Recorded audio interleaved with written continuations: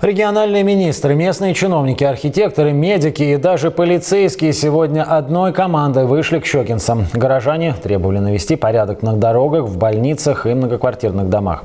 Это встреча выполнения поручения Алексея Дюмина. Он побывал здесь в прошлый четверг. После осмотра черных коридоров Щекинского нехорошего подъезда разговор с местными коммунальщиками шел уже на повышенных тонах. Далее жесткое указание губернатора всем выйти из кабинетов к людям. Екатерина Никифорова продолжит. Два месяца. Не прошло и двух рабочих дней, а этот подъезд уже не узнать. Производит ремонт косметический подъезд, будут заменены полностью пластиковые окна, будут покрашены побелены все стены, заменена электропроводка полностью. Признаете, что поздно начали? Признаю, что поздно начали. Я объяснил ситуацию, то, что были работы по инженерным сетям, которые необходимо было выполнить первоочередно. И когда планируется закончить? В течение 10 дней.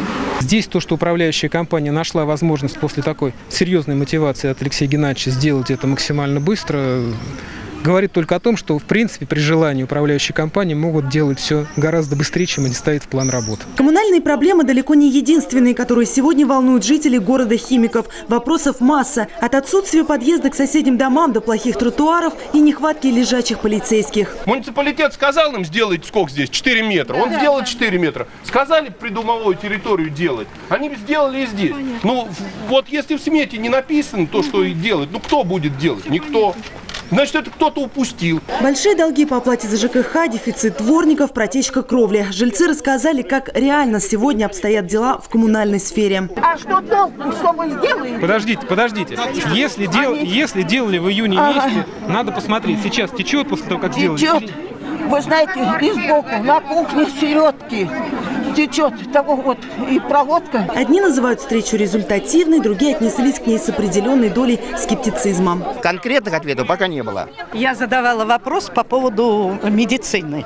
То, что к невропатологу невозможно попасть. Обязательно надо попасть через терапевта. Вот. Никаких результатов сказали, что так и будет. Я недовольна результатом, потому что хотя бы я вот вырастила своих 3-5 килограмм огурцов, я не знаю, где мне их продать. Что ответим? Идти на рынок, бог знает куда. Не на 100%, естественно, но на 70% устроил. Хорошо, спасибо. Поча- почаще так.